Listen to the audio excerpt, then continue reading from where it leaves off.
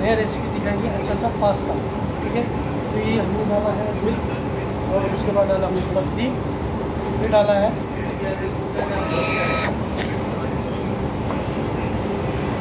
अब डालेंगे pasta pasta macaroni pasta हम बनाने जा रहे हैं अल्फ्रेडो पास्ता इसको इसमें चिकन जाएगा, मशरूम जाएगा, मशरूम स्लाइस पीसेस जाएगा चिकन जाएगा रेडी करते हैं हम। अभी हम बनाएँगे इसको।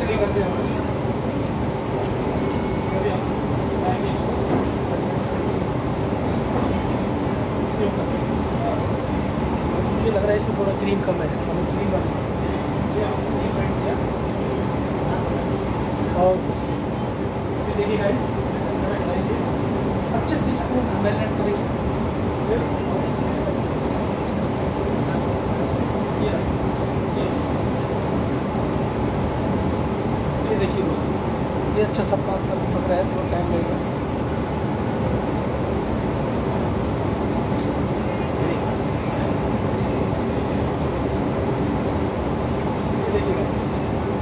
अभी पक रहा है।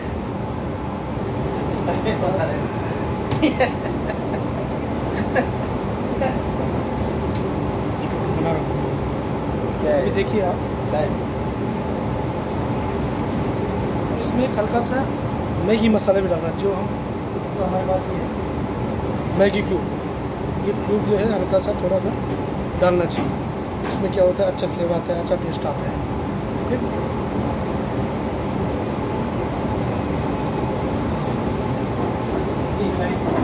अच्छा। फिर हम ये पक अच्छे से पकने के बाद थोड़ा सा हम ऐड करेंगे इसमें चीज़ स्लाइस चीज़ गार्लिक चीज़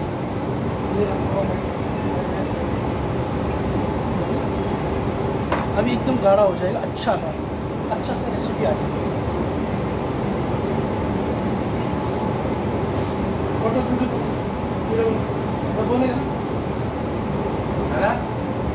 बोलेगा।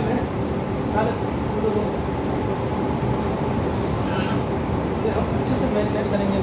अच्छे से पकेगा, थोड़ा टाइम लगता है। आधा घंटा तो लगती है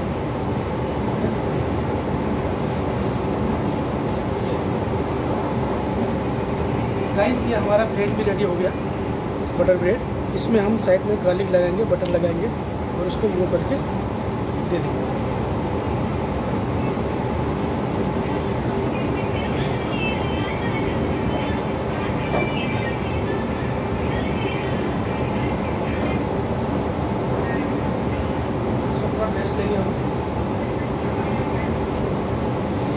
हमें लग रहा है इसमें थोड़ा नमक कम है।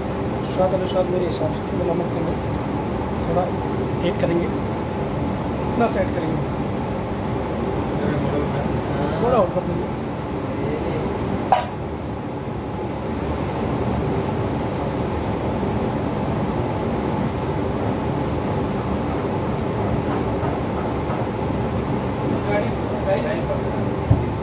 फाइनली मेरा अल्फ्रेडो पास्ता रेडी हो गया। ये रहा Alfredo pasta video call video call बंद अरे नहीं मार्क्स अभी बताएगा मैं तुमको ये रहा पास्ता रेडी हो गया।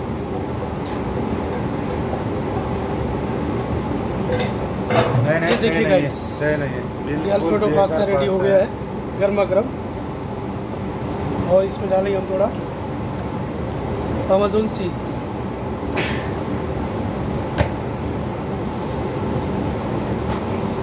इसमें डालेंगे हम थोड़ा पार्सले जो धनिया का छोटा भाई होता है पार्सले इसको थोड़ा सा हमने गार्निश किया है। अभी देखिए गाइस इतना लाजवाब हो गया। वाह आप भी कहोगे वाह टेस्ट करके देखो गाइस बहुत लाजवाब हो गया है। अभी हम इसको बेक कर देंगे। आप लगाएँगे हम गार्लिक पे। ब्रेड ये हो गया गार्लिक ब्रेड ये देखिए गाइस इस तरह से। इस तरह से हम इसमें लगाएँगे। Veg fried rice gobi Manchurian fry तो वीडियो बन क्या हो गया? ठीक है आठ लोगों का आठ ये देखिए गाइस ये नाटक नहीं चलेगा। नाटक ये देखिए हमने ये बंद कर दिया। अब इसको गाइज़ हम पैक करके सब कर देंगे। तो गाइज़ हमारी वीडियो इसी तरह से देखिए फॉलो करिए लाइक कीजिए एंड सब्सक्राइब कीजिएगा। धन्यवाद।